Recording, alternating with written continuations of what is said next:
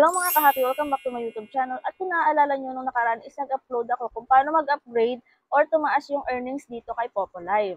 So ngayon may mga nag-comment at may mga nag-message din sa akin kung paano daw ba ma-maintain yung earnings kay Popo. At kung pwede daw ba na yung pakikipag-trade is halimbawa daw makipag-trade ngayon and then next week again hanggang sa mabuo yung 150k coins.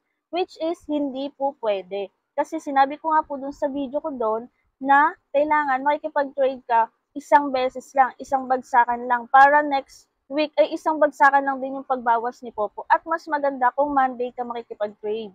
Kasi mga B, kung gagawin nyo yung sinasabi nyo na makikipag-trade kayo ngayon and then next week again hanggang sa mabuo yung 150k coins, yung iti-trade nyo po ngayong week na to, next week, wala na yan sa earnings nyo. Hindi nyo na yun makikita. Pero nasa pink points nyo pa rin siya. Pero dun sa record ng earnings nyo, within one week, mawala na po siya. Kasi every week po siyang nagre-reset mga B. At kung magkano naman yung kailangan nyo na coins para makipag-trade at ma-reach yung 150k coins, kailangan nyo po ng 215k coins. Yun po yung iti-trade nyo para ma-reach nyo yon. Kaya nag-upload din po ako ng video na wag na kayong ma-stress sa mga ganong pa-level up. Maliban na lang kung kaya nyo talagang mag-recharge ng ganong kalaki or kaya nyo mag-recharge para maglaro. At kung gusto niyo namang ma-maintain talaga yung ganong earnings, ay kailangan niyo pong makipag-trade weekly ng 215 coins. So, lagi niyo pong i-check dito sa may baba na to kung ilan yung kailangan niyo pa. So, tulad ko, hindi ko ngayon nare-reach yung 150k coins at busy din kasi ako, hindi ko rin matututukan yung pagla-live ko.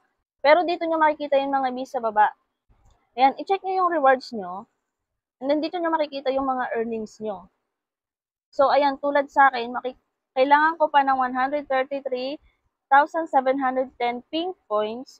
Yun yung para ma-reach ko yung 150k this week. So, pag nakipag-trade ako ngayon, Saturday na ngayon, sa lunes, mawawala na rin yun. So, sayang yung pakikipag-trade ko para ma-reach yung 150k coins. Pero, mapupunta pa rin siya sa pink points ko na pwedeng withdrawin. Kapag na-reach yung 150k coins in one week, ay magiging 3k yung points na marireceive nyo pag magla-live kayo. 2 hours kayong magla-live. So, may 6K ping points kayo tuwing magla-live kayo.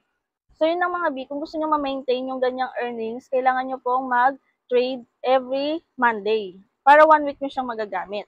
At 215K coins yung kailangan nyo pong i-trade para ma-reach yung 150K ping points. At ayan na, kung murang bilihan ng coins yung hinahanap nyo, ay i-recommend ko sa inyo si CocoDP. CocoDP ay isang top website na kung saan ay mura yung mga bilihin, mabilis lang yung transaction, at 24-7 open. Yes po, kahit madaling araw o kahit nasa ang lugar kayo, ay pwede kayong mag-recharge dito. So, sa mga baguhan, paano nga ba bumili ng coins dito kay CocoDP? Click nyo lang po yung link na nasa pinned comment or nasa description para magkaroon kayo ng access kay CocoDP. Pagdating dito ay hanapin nyo ang Popo Live. And then, ilagay nyo po ang inyong Popo ID, pumili na kayo kung ilan yung gusto nyo i-recharge, and then, select your payment method, ilagay nyo ang email address, and then, click buy now. After po nun, ay redirect na kayo kung anong payment method yung gagamitin nyo para mag-proceed ng bayad. At kapag natapos na po kayo magbayad, ay wala pang 5 to 10 seconds ay nasa inyong Popo Live account na ang coins na inyong binili. Ganun lang po kabilis. So, yun lang mga B for today's video. At kung may mga tanong pa po kayo, pwede po kayong mag-comment. At kung kaya ko po sagutin, ay sasagutin ko yan mga B. So, yun lang and thank you for watching. Música